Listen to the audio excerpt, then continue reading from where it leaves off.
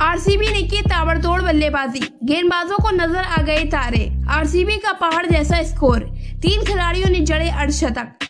अगर फिर से आपको वीडियो अच्छी लगे तो वीडियो को लाइक और चैनल को सब्सक्राइब ज़रूर कर दीजिए। चलिए वीडियो को स्टार्ट करते हैं। लखनऊ सुपर जेंट्स के खिलाफ मुकाबले में आरसीबी ने ताबड़तोड़ बल्लेबाजी करने का प्रदर्शन किया। लखनऊ के गेंदबाजों को तारे नज़र आ गए। बल्लेबाजी करने उतरे विराट कोहली और फावडू प्लेसी ने शुरुआत से ही आक्रमण रुख अपनाते हुए गेंदबाजों पर दबाव बनाया। आरसीबी ने पहले बल्लेबाजी करते हुए दो विकेट के नुकसान पर 212 रनों का बड़ा स्कोर खड़ा किया। विराट कोहली और फावडू प्लेसी ने अर्धशतक जड़े। फावडू प्लेसी ने अंत तक टिककर बल्लेबाजी की और 46 गेंदों में नबाद उनासी रन बनाए। डू प्लेसी के बल्ले से पाँच चौके और पाँच छक्के निकले।